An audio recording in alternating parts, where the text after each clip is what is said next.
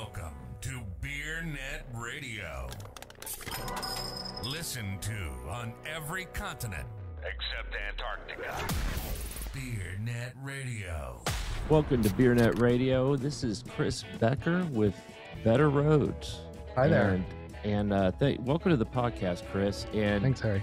Better Rhodes is a non-alc uh, marketplace, DTC. And first of all, it looks like you're kind of an underachiever because I, I looked online and it looks like you're subbing some. Is that Everest or something? What, what? Tell me a little bit about your background. So my mac, my personal background is uh, uh, I'm a recovering management consultant. I guess doing that since uh, pretty well out of school, um, and then also a tech startup kind of founder, but more in the technology space.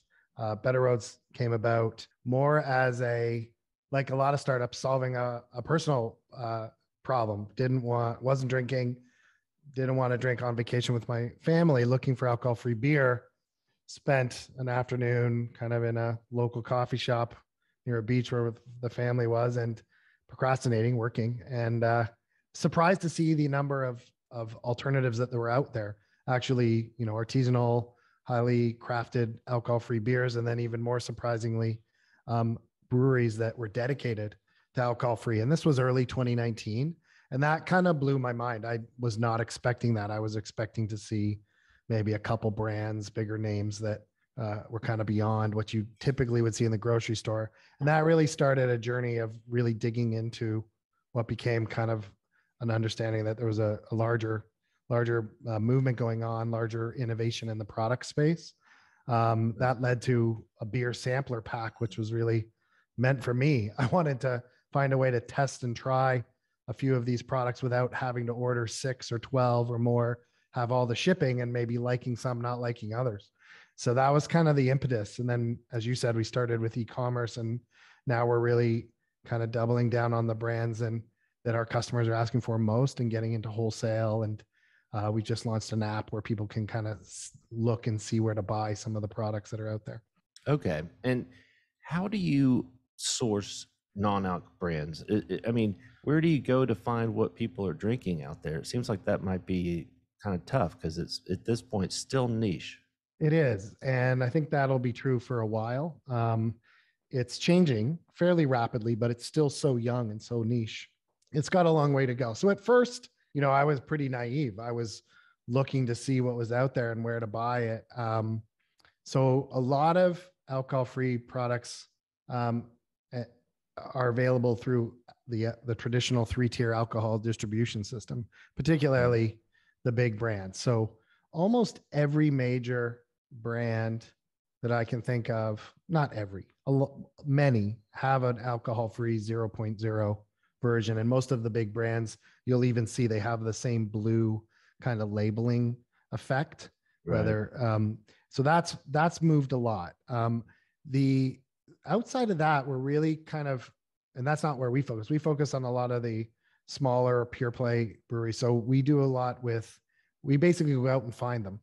Mm-hmm. So, uh, you know, our fulfillment center in the East is in Connecticut. So one of the first people I went to go see actually when I was just playing around with this idea in 2019 was Athletic Brewing. Uh, mm-hmm. They're just down the street from us.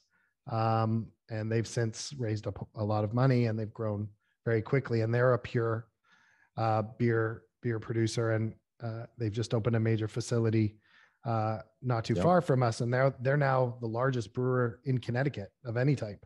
Um, right. And then a lot of the others we've tested and tried. Uh, at this point, we get a lot of samples sent to us. Um, yep. There's more and more founders coming in. Um, so and they're you know on the East Coast and the West Coast. Uh, so I get to meet them and taste and try, and then we usually put them in those sample boxes that I mentioned and see what our customers think. Okay. And and so eh, can you share with our listeners a little bit of your business model? And our, our listeners are, you know, beverage industry, mostly alcohol beverage industry sure. professionals. So, you know, um, so you're kind of a, if I'm hearing you right, you're a, a DTC marketer, but you're also kind of their wholesaler too. I mean, I'm assuming they drop ship to your or tell tell me how it how it works. Sure. Yeah. Yeah. Sure. And because it kind of speaks to the earlier point, it's such a new industry. So much of this, when it comes to the customers, is still about education and getting liquid on lips Um, and there's other, uh, and, and we, you know, beer is a big piece for us, but there's also alcohol-free wines, alcohol-free spirit alternatives, direct, um, ready to drinks. Pretty well everything you see behind me. We have a little sample shop here. Um, so our first piece and our biggest piece is D2C because it is such a new space. How do we get product right to the customer and get feedback from them? Because they really tell us what they like, what they don't like, what they're willing to pay, what they're not willing to pay. E commerce, uh, especially for heavy liquids and glass that freeze and break easily, isn't the. Wait, wait a minute. Are you telling me that beverages are heavy? Yeah, yeah. I wish I'd I mean, thought that through more when I first started this business. It, it's a it's yeah. a bitch, and it's something that it's really hard to get around. You know, yeah. we haven't figured that out yet, but uh, no. I hear you on that. and uh, with the alcohol free, we have the added uh, bonus of uh, it freezing at a higher temperature. So ah, right. um, D2C is hard under the best of circumstances. That adds an extra level of challenge. Um, we've learned a lot along the way. The hard, I wish I could say the easy way, but it was the hard way. Um, so that's that's a it's still a critical piece because a it's a it's a big piece of our business from a volume perspective, but it's a challenge in terms of um, of margins and profits. Uh, but we learn a lot, and we have that direct relationship with the customer, and we do a lot of work with certain beer producers where we can test and try, get them into a box, see what their customers think, and give them then share that feedback. The other piece of it though is we're really kind of a 360 model. So when we create a relationship with one of these brands, and you know maybe relative to what sounds like your your listeners uh, relatively small. You know these are not mm-hmm. massive uh, uh, multinational corporations. Um, these are artisanal uh, founder owned and operated. So we'll work with them on the online to get that customer relationship and feedback but also wholesale. So that means on trade. So rest more and more restaurants are looking for highly curated options. Our customers are demanding it more. We presented and exhibited at the restaurant show in chicago um, and it's still you know early days. And then off trade, uh, because it is alcohol free, um, in many states, in in uh, where you're able to distribute these products through the non three tier system, and they can also be uh, sold in unlicensed establishments. Um, right. In some cities, in some states, sorry, uh, the the the alcohol distributors are actually precluded from selling what are deemed to be non-alcoholic products and therefore even though it's beer it's, it's non-alcohol non-alcoholic there's a recent ruling in uh, new york state along those right. lines. Okay. Are you dealing with mostly dealcoholized products or, or do you, or do you deal with like non-alcs like like this or like Orabora or something yeah, like that? It's in terms of the techniques uh, both. So it depends on the categories. Beer there are dealcoholized and then there is some that are brewed uh, where they're brewed up to the point of 0.5 or less. Um, which, so we carry which is both. which is better. Like, uh, is that a snobby thing to say? Kind of. Uh, well, a lot of the newer brewers would say that if it's done right, brewing up to, because some of the dealcoholization dealcoholization processes are like kind of like a gut punch to the pro to the liquid. Um, mm. So if you can do a technique that gets you the flavor without having to dealcoholize. I personally believe that's the future of not just beer, but wine, uh, alcohol free alternatives, and things like that. Because wow. the dealcoholization process, especially if you're using heat, is very damaging. Uh, the easiest way to dealcoholize is to boil off the alcohol. And, right. Because it, it's also it, the most damaging. Yeah. yeah. Now there are centrifugal, you know, filter filtration processes. They are more cumbersome, more expensive, more time consuming. So I think you're seeing more innovation. And you know, a lot of the alcohol free from a beer perspective, this isn't in Europe, in Belgium and Germany. This is much more of a mature industry and a lot of uh, beer making courses in Belgium. Al- making alcohol free beer is one of the things you learn. There are really? hops that are designed specifically to be used for alcohol free brewing. Interesting. And, and, and brewing up to, to 0.5% is, I would imagine, very difficult. It has to be very slow and, and, and contained. And, and, yeast, I've heard, is a wild, wild organism. Um, That's what I hear. I'm, I'm certainly not an expert, um, but I, from the folks that I've spoken to in this space, um, if we could get rid of gravity and yeast, this business would be great. yeah. And, and, and employees and and regulations. That's right.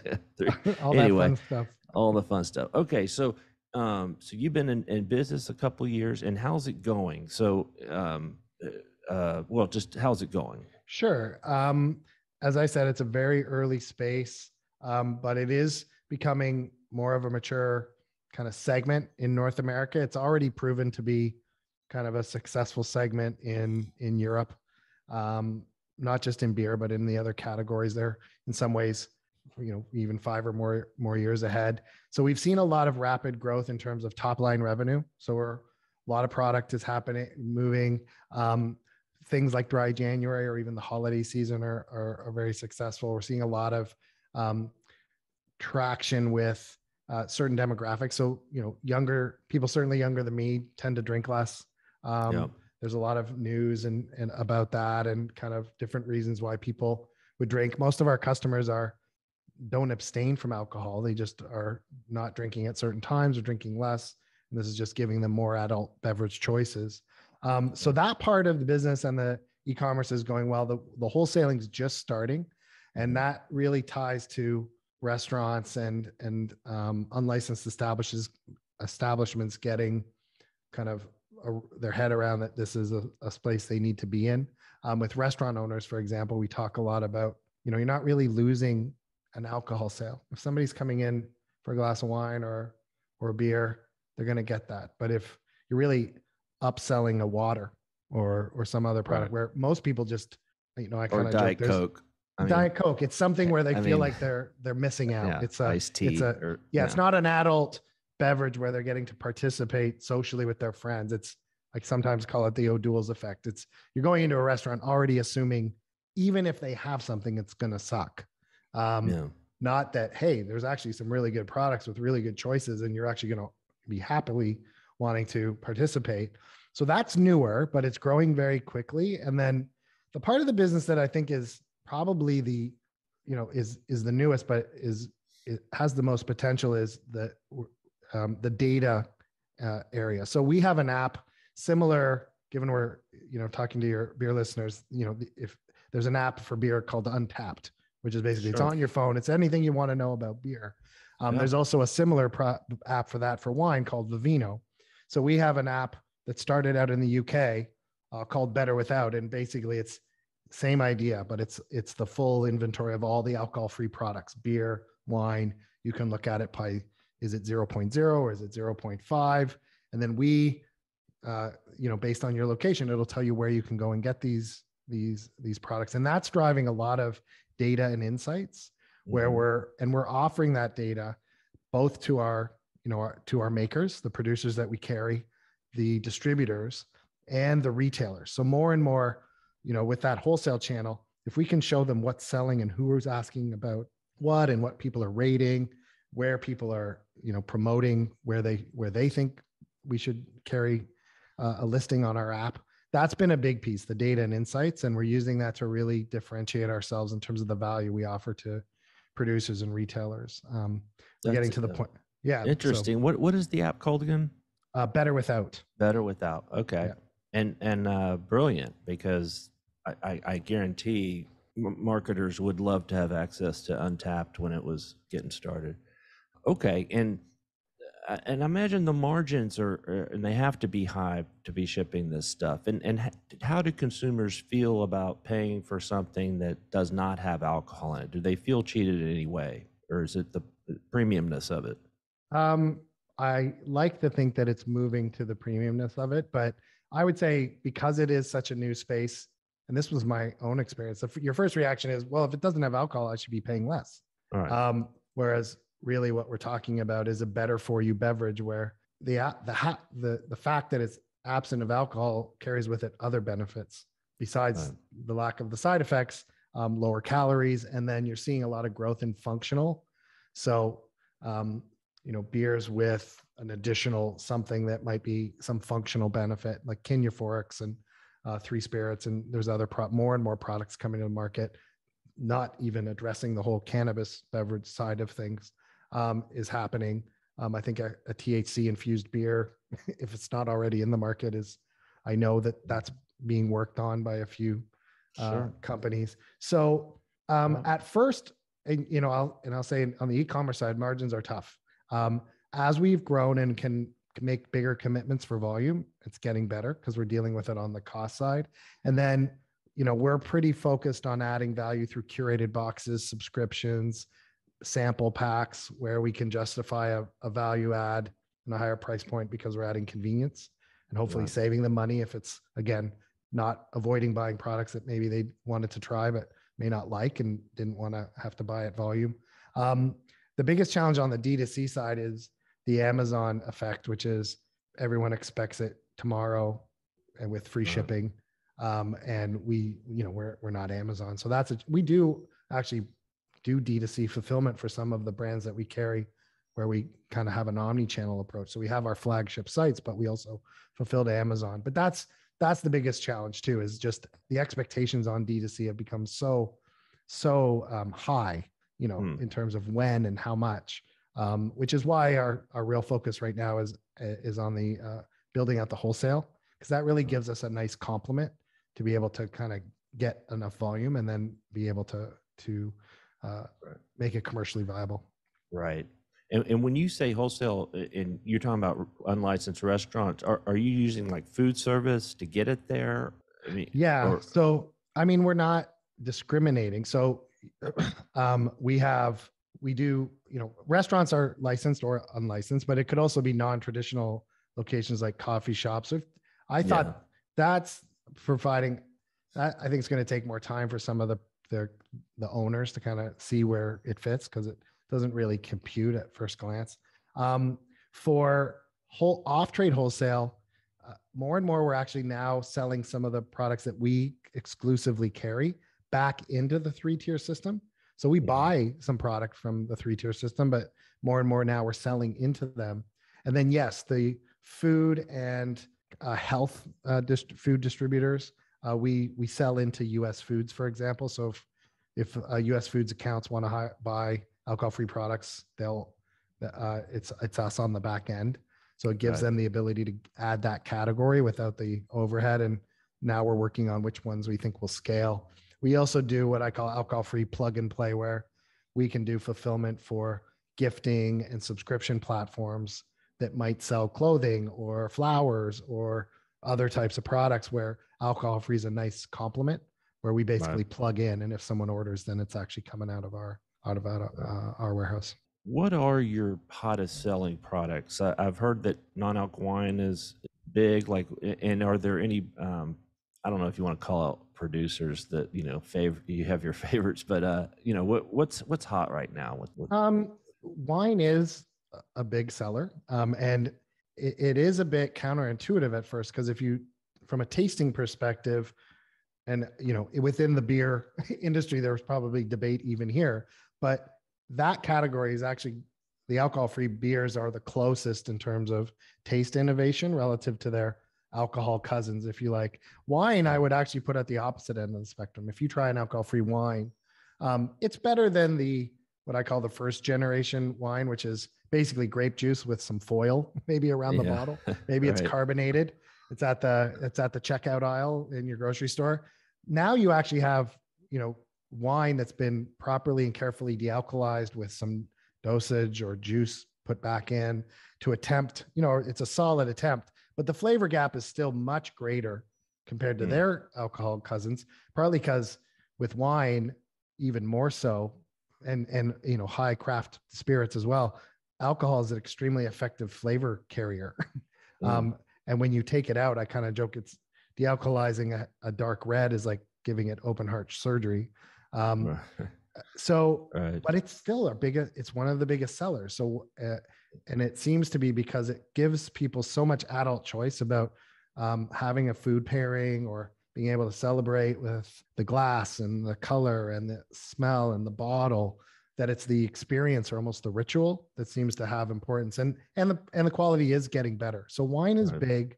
Um beer is definitely you're seeing a lot of um well not a lot of there are a few players that are have really focused on alcohol free beer that you're starting to see grow quite quickly um athletic is one uh, Big Drop, uh, Lucky Saint out of the UK, um, to varying degrees, have started to look at the US. Uh, Brewdog, which is a big brewery and bricks and mortar in in uh, the UK, has their own. They actually started their first alcohol-free beer as a joke because people were giving them bad press because they've had a very high alcohol content beer. And right. the owner, uh, I forget his name, but he's uh, Jim pretty, Jim Watts, I think. Yeah, he's quite uh, outspoken. yes. So he did he did uh, he did an alcohol free. My understanding of the story was as a almost as a joke, and it became it was very successful. So you're seeing a lot. Those would be examples of people I've seen. You know, Lucky Lucky Saint, for example, is available on tap all throughout young London pubs. Mm-hmm. Um, Heineken 0.0 is rumored to be coming out with on tap in London soon. Um, and you're starting, I think that's something to look out for in 2023 in the alcohol free beer world. In the US, the pub culture is not the same. So you don't have that same critical mass and ability to distribute to a chain of pubs, maybe as you right. do there. But um, I'm seeing a lot more of those products and others into um, uh, like uh, fast food chains uh, where right. where they want to have a better alcohol free beer, more options. Well, cool. Well, that's great. Uh, thanks for being on, Chris. Uh, appreciate your candor, and uh, you know, I, I, wish you the best. I think it's exciting. Uh, we've been covering a lot more of the non-alc space, and I don't. When I say non-alc, I'm not talking about energy drink. Well, actually, we we are covering that too, but uh, it's a dynamic field, and uh, looks like you're at the tip of the spear there. So yeah, Harry, uh, enjoyed the time. Thanks for having me, and uh, happy to chat about uh, any of the brands uh, whenever you get a chance. All right, cool. All right, take care. Thanks. Take care.